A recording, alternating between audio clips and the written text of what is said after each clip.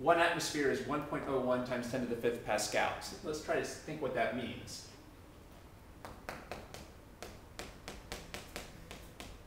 Well, remember, what's a Pascal? It's a Newton per square meter. A Pascal is a Newton per square meter. Um, and have we seen this trick that when you have a, units in a ratio, it's a good trick to put the number 1 on the bottom to help you interpret it.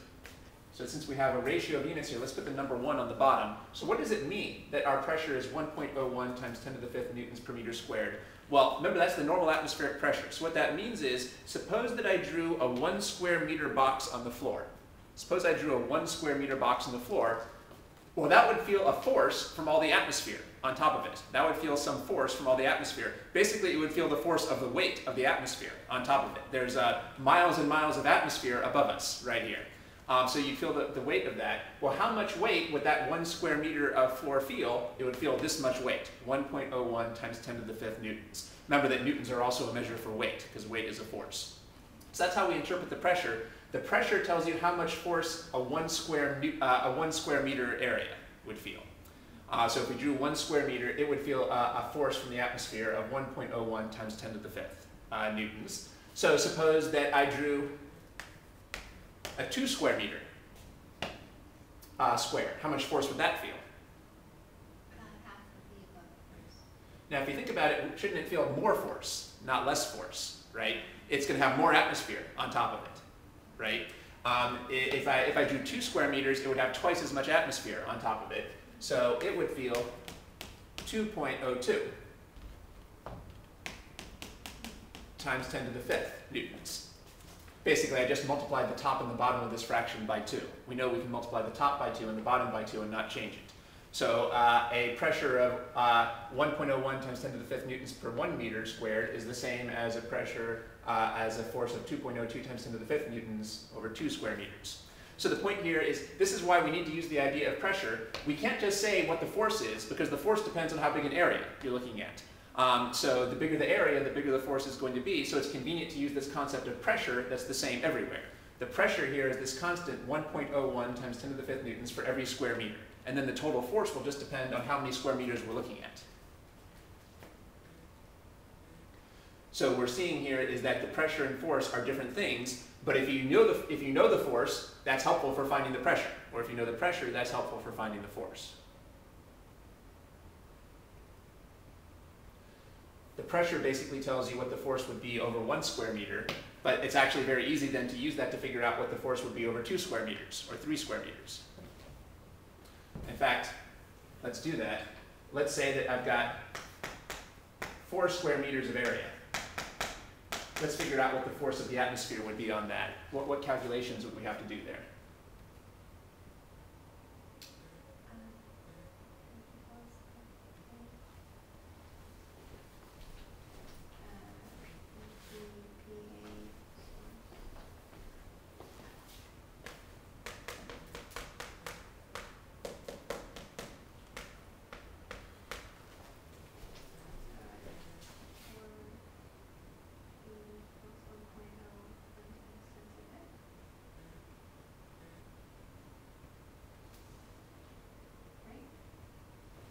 Now your first steps were good.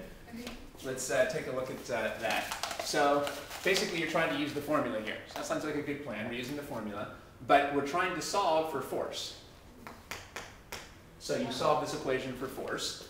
Um, so what does the 1.01 times 10 to the fifth represent? That's not the force. Uh, as I think you're seeing now, that's the pressure. So we need to plug that in for the pressure. 1.01 times 10 to the fifth. Let's actually plug in the units newtons per square meter.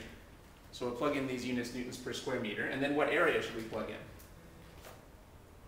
Um, four. Four square meters. Good. So what calculation do we have to do? Um, multiply four by the, Right. um, And by the way, what's going to happen to the units here? they're gonna cancel. And we'll be left with, good. Well, I think we can do this calculation in our head. This would be 4.04 times 10 to the fifth. Newtons.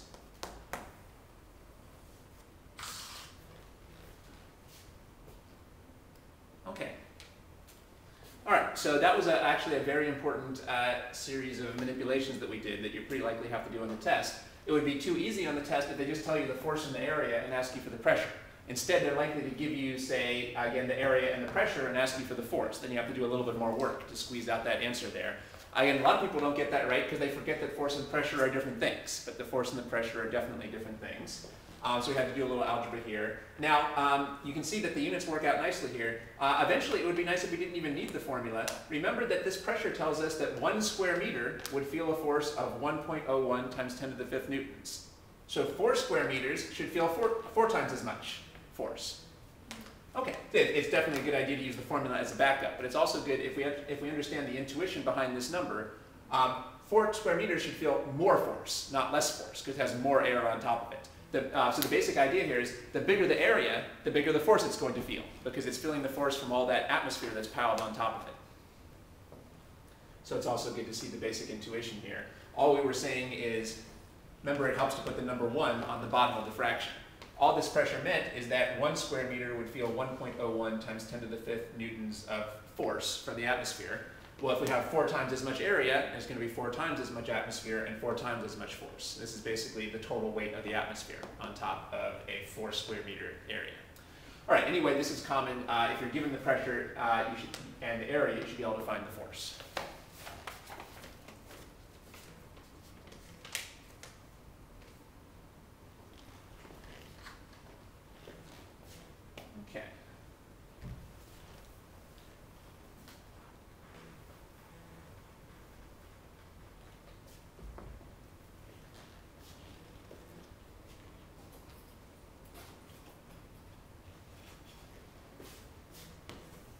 Right, another important concept for us is going to be volume. Uh, a good symbol for volume would be capital V.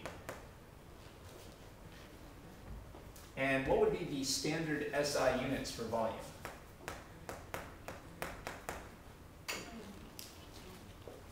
Meters cubed. Okay. Uh, we know that most people would uh, say liters, but we talked about this earlier. Even though liters are a common unit, they're not the standard SI unit in physics. If distance is in meters and area is in square meters, uh, volume should be in cubic meters.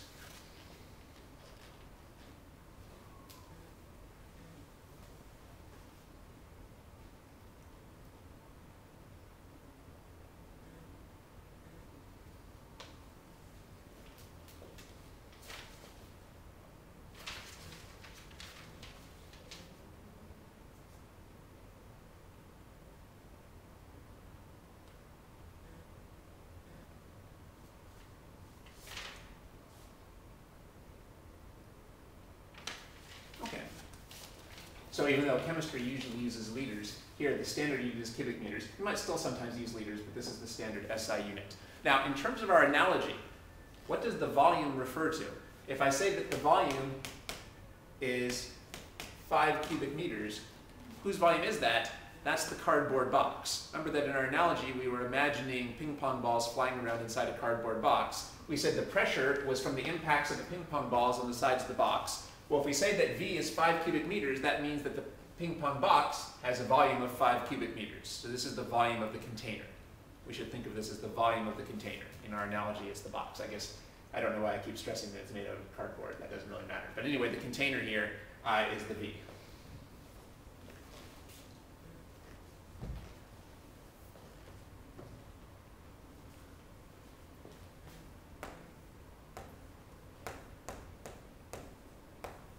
Now, let's think about this analogy. Let's say that we decrease the size of the box. Would we expect that to increase or decrease the pressure? Increase the pressure. That sounds right. Uh, why, why would that be in terms of our analogy? How would that increase the pressure?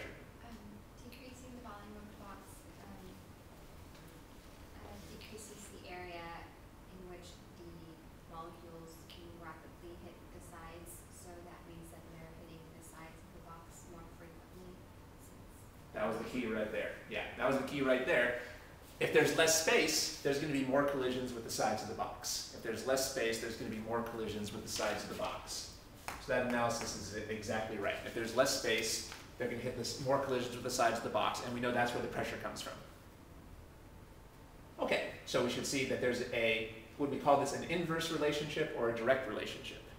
Inverse. Yeah, there's an inverse relationship here between P and V.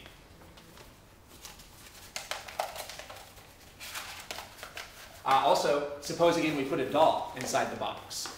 Would it feel more pressure here? Well, yes, because the doll feels the pressure when the ping pong balls hit the doll. Well, again, if there's less space inside the box, then the ping pong balls are going to collide with the doll more often. So it, no matter whether you're thinking about the container or an object inside the box, a smaller volume means more pressure.